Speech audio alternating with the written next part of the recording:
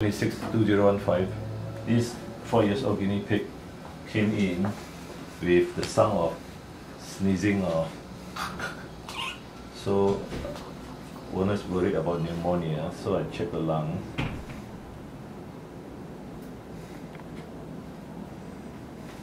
there is a rough lung sounds here on the right the left the left is okay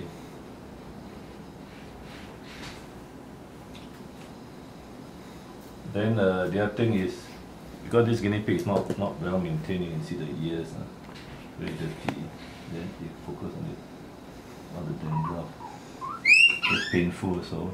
Then the other ear is uh, full of dandruff. Uh, dandruff needs to be cleaned. Eh? Be painful.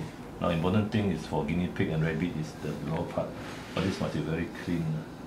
If not then uh, the bacteria goes in 那个那个细菌进去 uh, and uh, you can see so it, so the guinea pig is not not uh, healthy because of all this 你们那没那个那个那个 cage 啊它在哪里睡觉的 cash 上面放木 is a tumor huh 放 bedding 它睡上面木 must wash everything cut cut cut clean the ears oh, okay